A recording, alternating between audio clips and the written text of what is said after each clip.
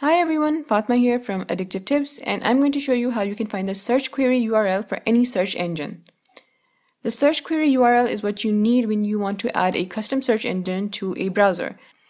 What you want to do is you want to open Firefox and navigate to the website or the search engine that you want to use. Let's say you want to use Bing. Now on the Bing homepage, you want to click inside the search bar and from the context menu, select the add a keyword for this search option.